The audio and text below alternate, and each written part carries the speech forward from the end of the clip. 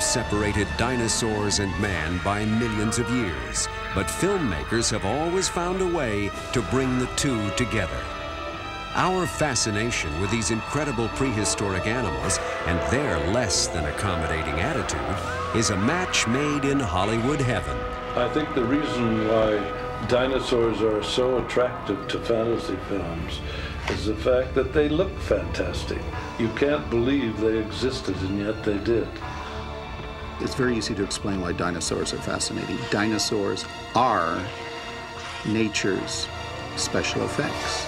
It is Hollywood special effects artists who, generation after generation, have brought these magnificent creatures to life, discovering them in the lost worlds of King Kong and the Valley of Gwangi.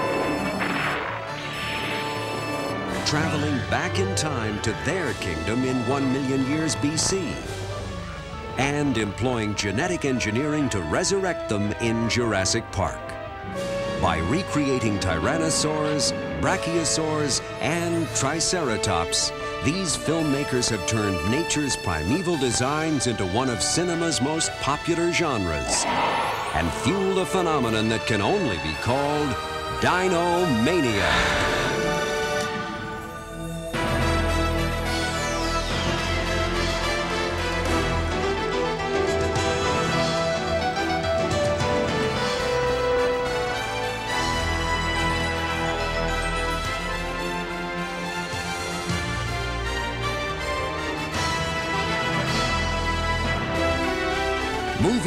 Magic presents Dino Mania.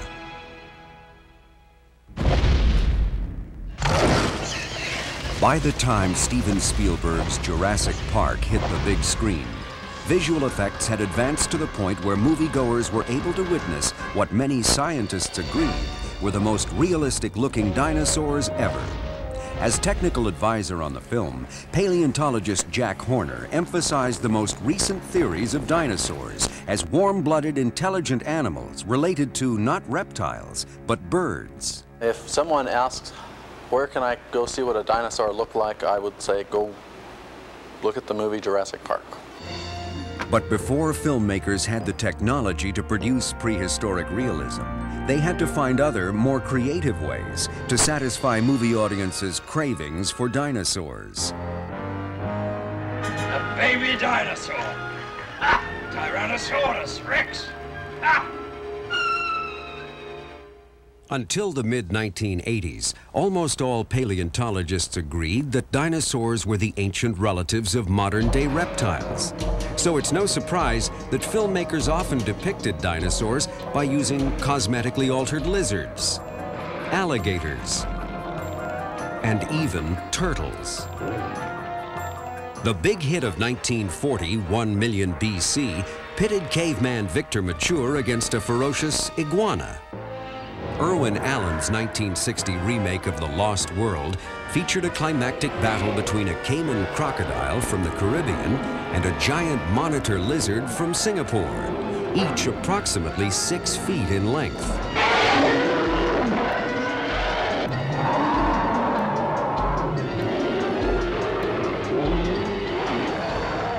A smaller lizard was used for the so-called fire monster, fishing line tied around its body enabled off-camera handlers to manipulate its movements. I thought that was very creative. I mean, putting horns on, in fact, every time my parents would buy me a lizard, I would try to turn him into a dinosaur. The collaboration of science and art in the visualization of dinosaurs actually dates back to the beginnings of paleontology. In the early 1850s, British scientist Richard Owen, who first coined the term dinosauria, or terrible lizards, commissioned sculptor Waterhouse Hawkins to create life-size models of what the ancient creatures might have looked like.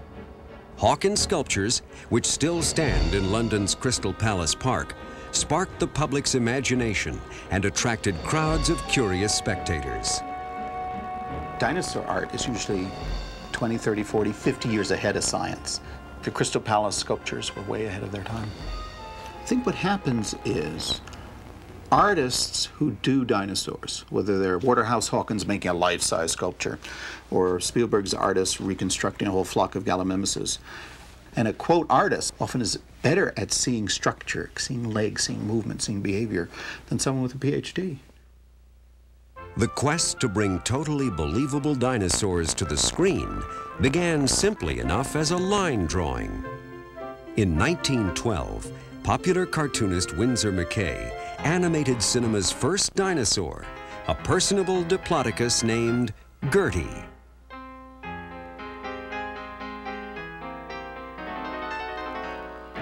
But one man, more than any other, is responsible for bringing cinematic dinosaurs to life. The year was 1914, and Willis O'Brien was 28 years old. He had just fashioned a prize fighter out of clay, and as he moved the figure into various poses, the idea came to him of using such three-dimensional models to create a moving picture. This marked the birth of stop-motion animation. And within a year, O'Brien had produced his first short film for the Edison Company called The Dinosaur and the Missing Link. The craft of stop-motion animation, having started uh, virtually in O'Brien's garage with his uh, work that he did for Edison. It is a process wherein a three-dimensional object is manipulated uh, incrementally, uh, one frame at a time, all various joints, momentums, actions are very infinitesimally adjusted. And then one frame of motion picture film is shot that records the image.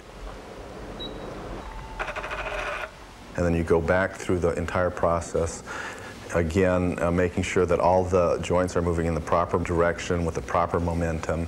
And this will generate a, uh, a complete performance once the film is later projected at 24 frames a second.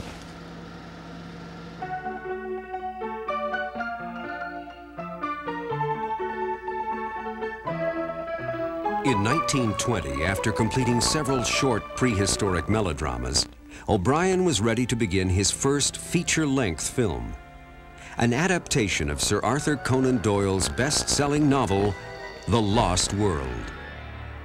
The story tells of an expedition to a remote South American plateau where dinosaurs still exist.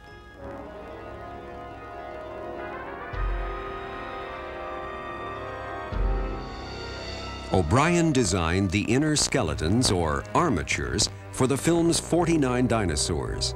Then, a gifted young artist named Marcel Delgado completed the models, based on the paintings of Charles R. Knight at the American Museum of Natural History.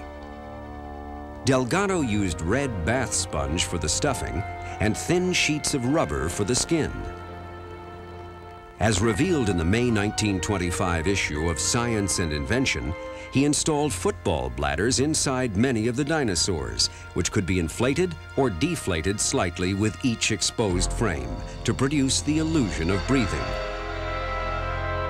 O'Brien spent 14 months animating the dinosaur sequences, and his growing proficiency at stop motion resulted in prehistoric animals that were well ahead of their time.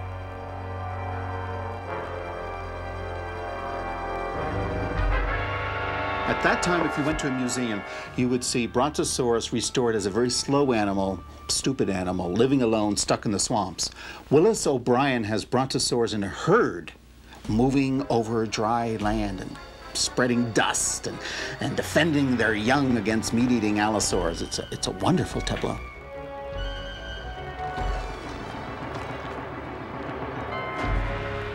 When The Lost World opened in 1925, it was an immediate sensation. One reviewer called it a picture that will achieve as much word-of-mouth advertising as any in motion picture history.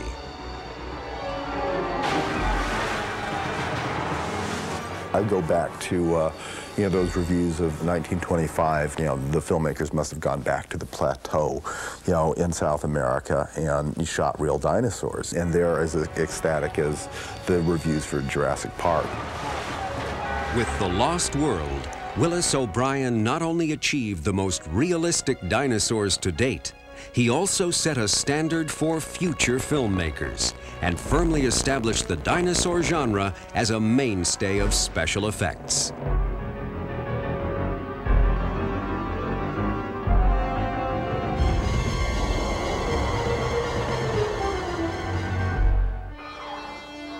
In 1948, the first dinosaur film made in color, Unknown Island, utilized a budget-conscious effects technique common for its era, men in dino suits. The way the suits were built is that they were in them and then they just had literally wires they were pulling. So that's why the hands were just kind of doing this. And they had another wire they could pull for the mouth. And these guys couldn't see a thing in them at all. They were totally blind. And uh, when the only way the guys could rest, though, is they had to get a prop guy and he had to bend over and the guys would lean on him. It was very hot the day they shot this stuff. It was, it was, close to 100 degrees. And in these suits, it was a lot hotter than that. And this one guy was just like wandering around, you know, getting into position, and all of a sudden they just started go, I think they actually used the scene where a guy really fainted and fell over. when it came to creating believable dinosaurs, men in suits couldn't hold a candle to stop motion animation. That art form reached its pinnacle in 1933 I remember seeing Willis O'Brien's movie King Kong. I guess I was in my teens at the time. My favorite, of course, was the Tyrannosaurus and his great fight with uh, King Kong. In a way, it's too bad that he lost. For dinosaur experts like Ken Carpenter of the Denver Museum of Natural History and world-renowned paleontologist Robert Bakker, Willis O'Brien's masterwork has only gotten better with age. He was two generations ahead of his time. His dinosaurs act and move like Jurassic Park dinosaurs, like 1995 dinosaurs. With King Kong, O'Brien had attained a mastery of his craft, adding subtleties of performance that made his dinosaurs all the more lifelike. In one of the most spectacular animated sequences ever filmed, O'Brien's Tyrannosaurus rex stops briefly to scratch its jaw before plunging headlong into mortal combat with the mighty Kong. Well, I was at the tender age of 13 when I first saw King Kong, and it changed my whole life. I went back again and again to see the film on its reissues, and finally discovered the glories of stop motion photography. A fire was lit inside of young Ray Harryhausen, and he set his sights on following in O'Brien's footsteps. It wasn't long before the teenager was filming his own animation models. One of the first puppets was a cave bear I made. I cut up my mother's fur coat. So I made many experiments on 16 millimeter. At the age of 19, Harryhausen had the opportunity to meet the man whose work he had come to idolize. I first met Willis O'Brien at MGM. A friend of mine knew him and told me to call him up. And uh, I told him I was experimenting with dinosaurs on my own, and he kindly invited me over to MGM. So I piled some of my models into a suitcase, and uh, I brought them over to show him. And I took them out of the suitcase, and my first one was, I think, a Stegosaurus. And he looked at it a while and he said, You'll have to study anatomy because your legs of your stegosaurus look like sausages. Harryhausen took O'Brien's advice, enrolling not only in anatomy class, but also taking courses in drawing, sculpture, photography, and film editing. Soon he was modeling more advanced dinosaur puppets and shooting test footage for a project he called Evolution. Harryhausen kept in touch with O'Brien over the years, and in 1947, O'Brien hired him as his assistant on Mighty Joe Young. Of course, that was the great thrill of my life because uh, to work with Willis O'Brien on another gorilla picture was just unbelievable. After two and a half years working alongside his mentor, Harryhausen's next project was his first as Chief of Technical Effects. The Beast! The Beast! The Beast from 20,000 Fathoms! The Beast from 20,000 Fathoms is the story of a prehistoric monster freed from the ice that wreaks havoc on civilization. The Beast from 20,000 Fathoms was actually a conglomerate. I started out with an Allosaurus or a Tyrannosaurus concept and then gradually I realized you had to have it so that it wouldn't be more like an amphibian. So I gave it four legs, and the body uh, took on a different structure than the known dinosaurs. Released in 1953, The Beast from 20,000 Fathoms was a smashing success. Having cost only $200,000 to make, the film took in more than $5 million at the box office, and The Beast set the tone for every Monster on the Loose film to come. During the next decade, Harryhausen turned his talents to mythology, producing such films as The Seventh Voyage of Sinbad and Jason and the Argonauts. Then, in 1965, he was enticed to start work on a remake of One Million Years BC. I felt we could do a better job by using the stop motion process rather than enlarge lizards. And dinosaurs, after all, I did have a soft spot in my heart for dinosaurs. One million years BC erupts on the screen with volcanic excitement scientists thought dinosaurs were just slugs, great Mesozoic uh, behemoths that could barely move. And um, Harryhausen's dinosaurs really moved the way we now know they did.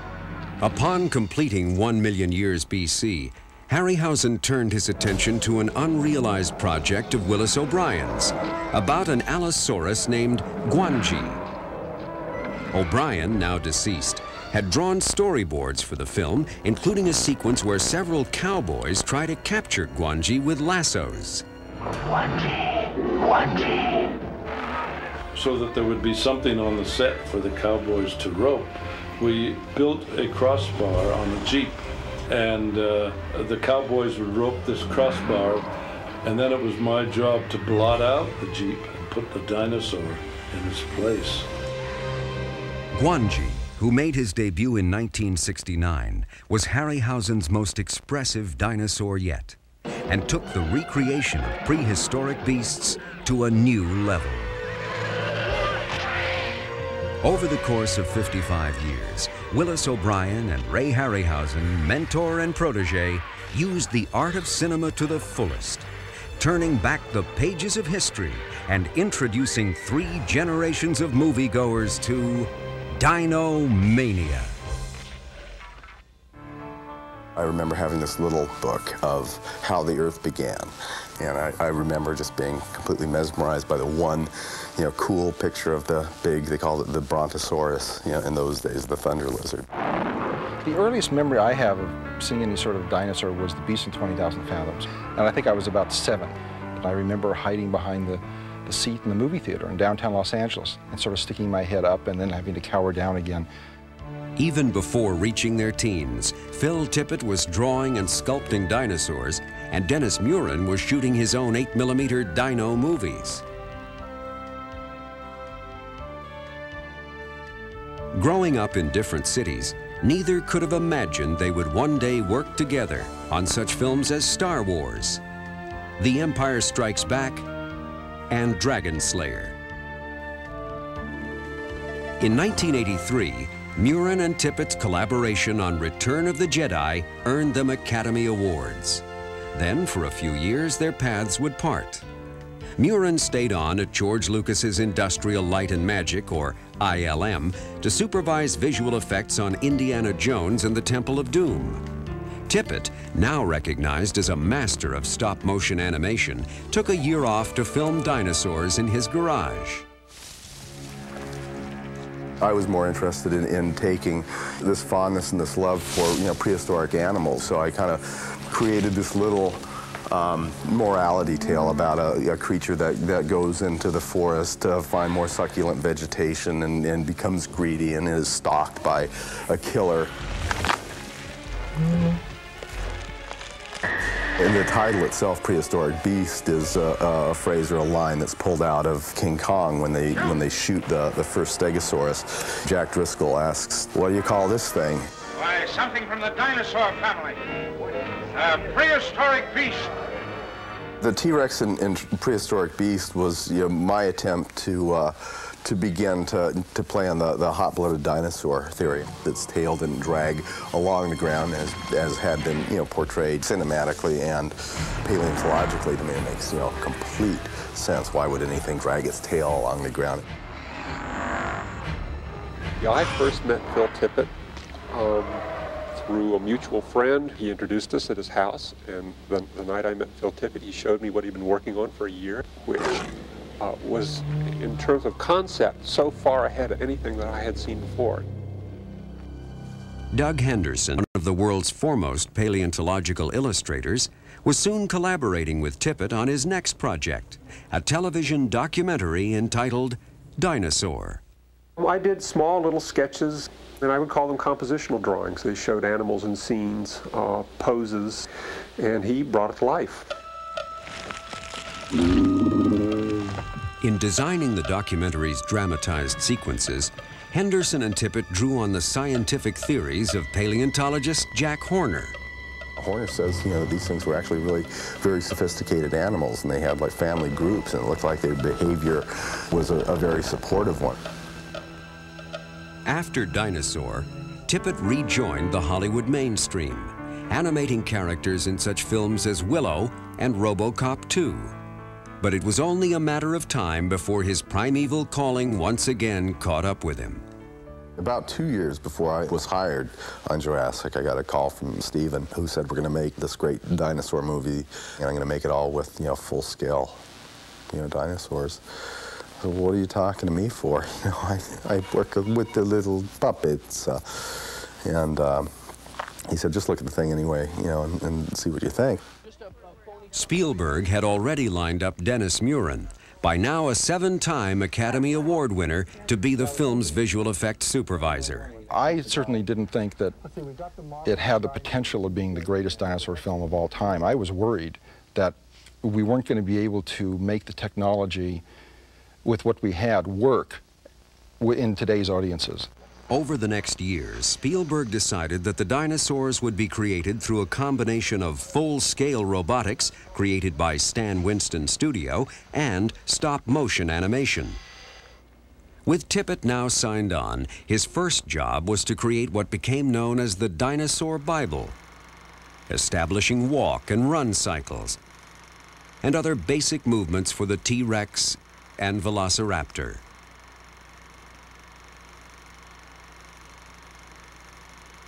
The next step was to film rough stop-motion versions of the storyboards called animatics. It was during this stage that the nuance of the dinosaurs' performances evolved. We began to play with, with ideas of what this predatory animal as it comes upon an object that it has never seen before. But there's these two little morsels that are sitting inside. What dramatically can you do with that? It's got one foot up in a wheel and it sort of attacks with its snout the belly of the car. And that's stuff that I've seen a cat do with a mouse. You know, you may not remember where you saw it, but it'll look like real things to you. And we did that pretty much all the way, you know, through the film as many chances as we could. The Velociraptor performances in Tippett's animatic of the kitchen sequence nearly match those in the final film, except for one behavior that caught the eye of Jurassic's technical advisor. I gave the, the raptors a, uh, at one point a, a tongue that, that flicked in and out like a lizard, and, and Jack Horner got really mad about that. He said that, that uh, dinosaurs didn't do that, reptiles did that, and dinosaurs were not reptiles, dinosaurs are birds. Meanwhile, Muren was looking for an opportunity to utilize ILM's fast-developing computer-generated or CG effects. The logical starting point was a Gallimimus stampede sequence. If you could make one dinosaur, then you could clone it many times at no additional cost. And so we did a test, and the result was astonishing. At the same time, one of Muren's senior computer animators, Steve Williams, began experimenting with a CG T-Rex. And one day I went over to ILM and I said, hey, come here, take a look at this. And I looked at it. I oh, oh God. oh, you know, it's, it doesn't look great, but, you know, is this the end of stop motion animation as we know it? In what is now considered a turning point in the history of special effects, Spielberg did in fact decide to replace the stop motion with CG. But Tippett stayed on the film, and his studio and ILM collaborated on development of technology that would bring stop motion into the digital age. The result was the Dinosaur Input Device, or DID, a stop-motion armature with encoders that transmit movements into the computer. It was used to animate several shots in the main road and kitchen raptor sequences. It, it, gave a chance for both crews to go with the technology they were sort of used to, you know, the hands-on Phil Tippett approach and the, and the mouse approach, you know, the ILM approach. And we used both techniques in the film, and they both worked just fine.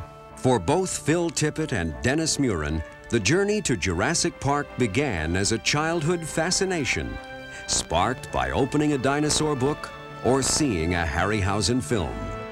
Now their dinosaurs will undoubtedly point the way for the next generation of special effects artists. I was right. We're going to see things on this island that no other human being has ever seen.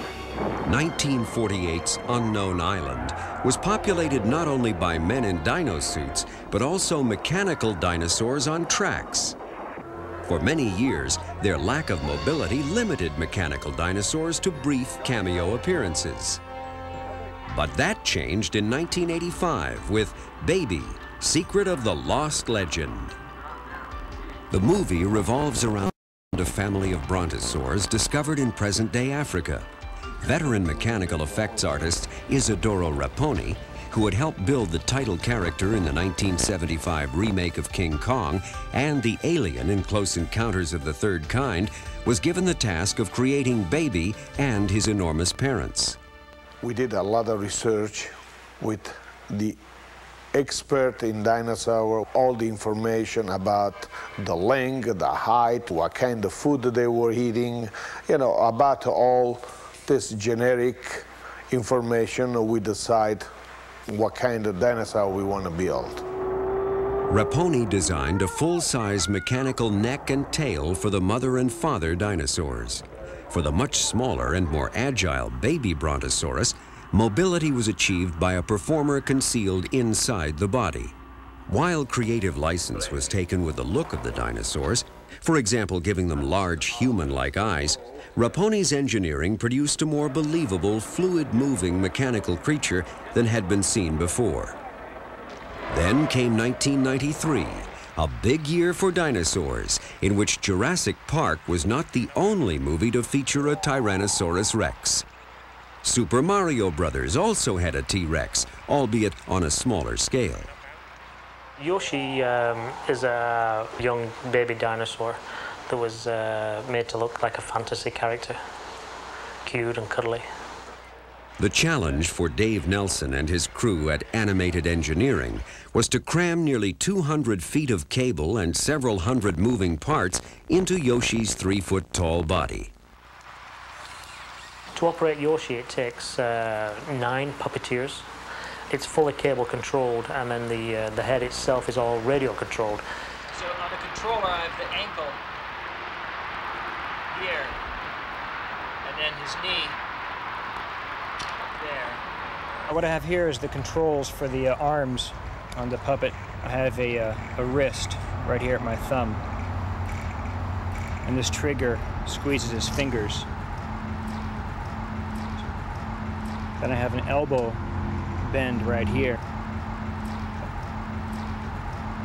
Okay, I control the tail. This controller over here controls the top portion of the tail. I can go up and down and side to side and anywhere in between that.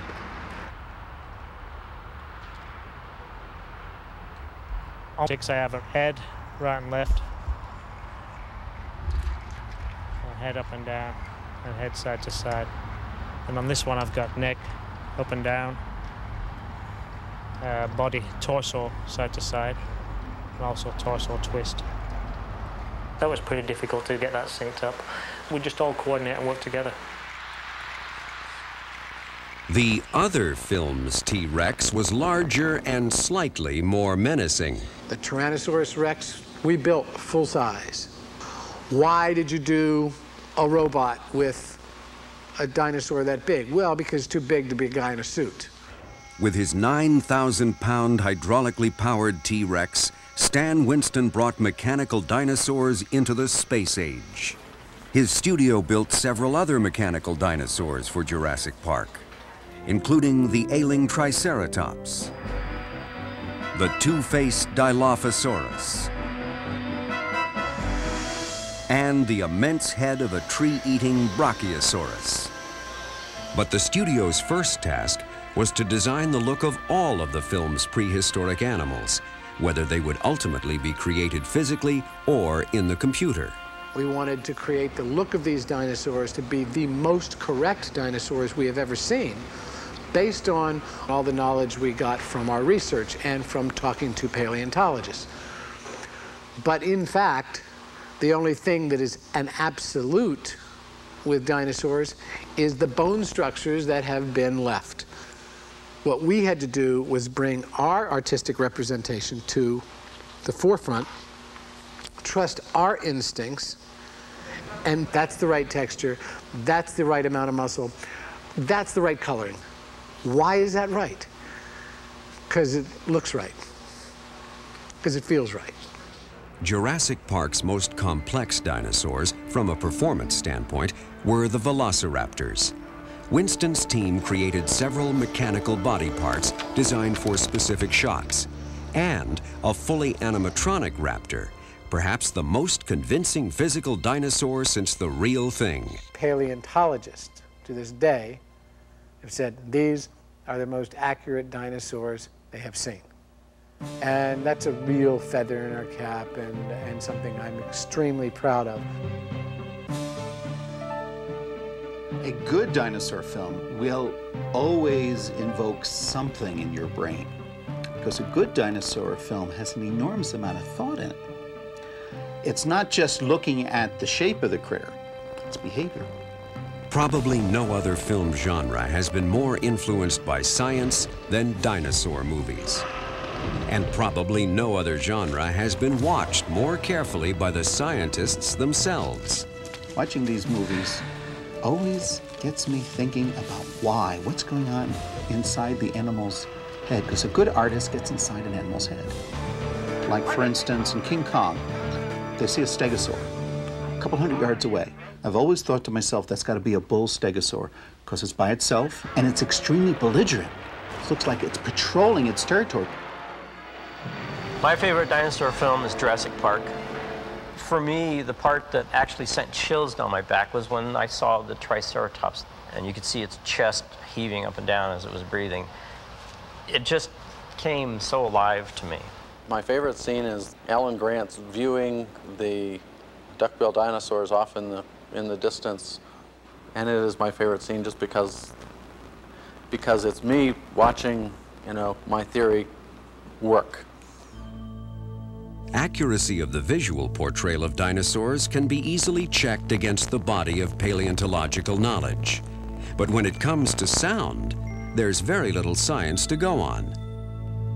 We know they made sounds, at least our assumption has to be that they made sounds because the animals they're more cl most closely related to that are alive today, which are birds, make sounds.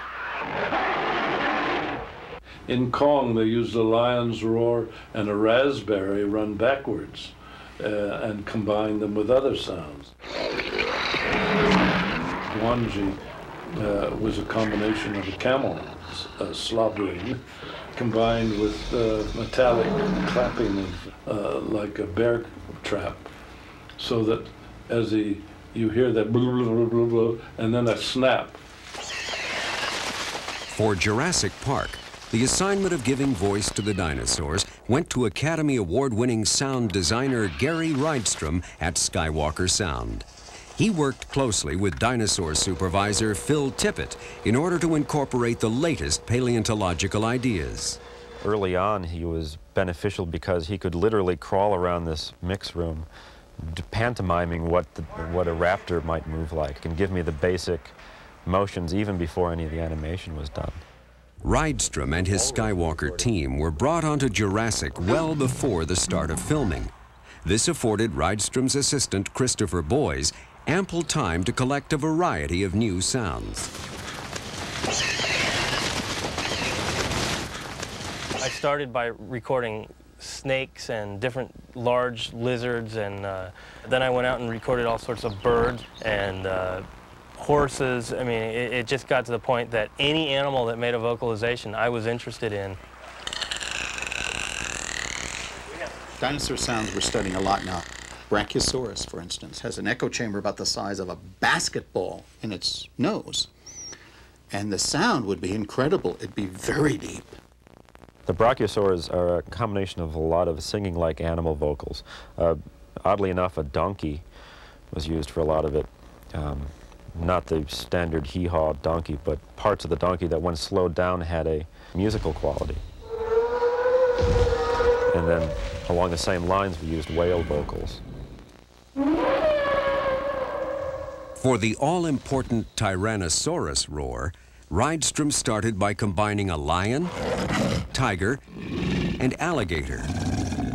But he felt something was missing. I was looking for uh, something more screechy to go on top of those low frequency elements to make it seem louder and even be more painful. Gary and I went and recorded uh, elephants at Marine World, and this one baby elephant towards the end made this one trumpet. And every time the T-Rex roars, it's a lion, tiger, alligator mixed with this one-time only baby elephant, which to me is the essence of the T-Rex roar. For Jurassic Park sound designers and visual effects artists, their job was much the same as the paleontologists, to speculate on what these magnificent animals, extinct for more than 65 million years, might have been like. It was a fascinating thing because being animators, it's very much like being an actor. You become the character, so you have to sort of get your head into the head of the dinosaur.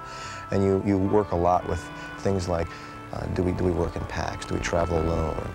Are we predators? Are we prey? Those sorts of things are, are a big part of how we actually design the creatures. Jurassic Park will definitely be the inspiration for future generations, just as King Kong was for some. I mean, pictures of dinosaurs can do a lot for you, but when they're moving around doing something, we can all go back to movies that got us thinking about dinosaurs.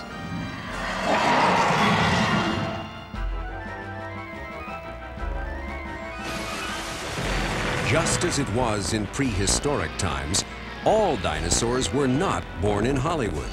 What inspired me to become a paleontologist was, of all things, the movie Godzilla. I was five, took me, and I was so awed by this prehistoric animal that I decided that dinosaurs were the, really the subject of interest. Godzilla, who would go on to star in nearly two dozen films, made his debut in 1954, one year after the smashing success of Ray Harryhausen's Beast from 20,000 Fathoms. Well, of course, we were most flattered that they say uh, copying is the most gracious form of flattery, but uh, I wanted to use stop motion because it gave a flexibility that you wouldn't have. And most children, even at five years old, know when they see something on the screen that it's a man in a suit.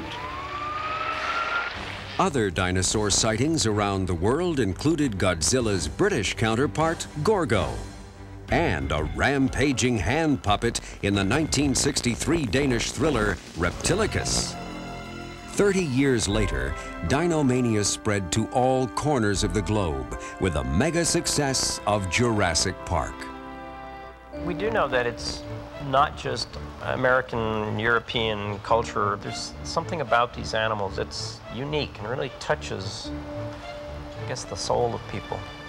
And Dinomania shows no signs of slowing down. Author Michael Crichton has followed up Jurassic Park with a new dinosaur novel, entitled appropriately enough, The Lost World.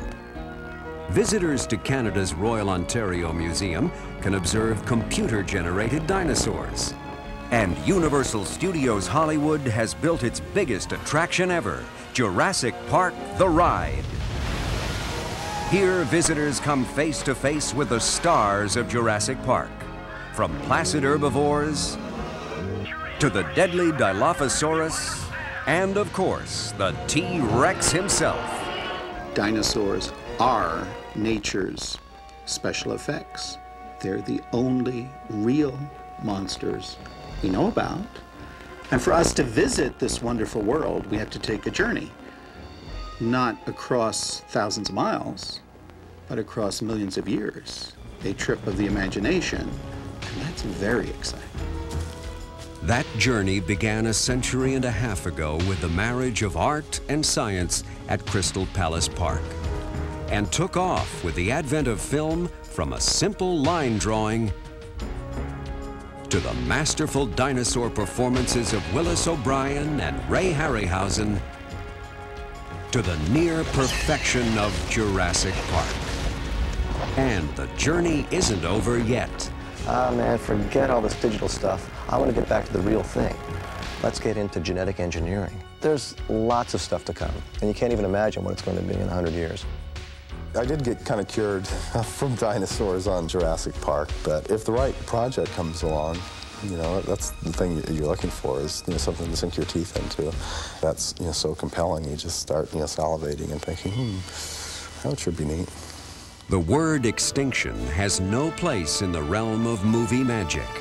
As paleontological knowledge and special effects artistry continue to advance, audiences can be assured that these prehistoric wonders will continue to roam the earth. And that Dinomania will live forever.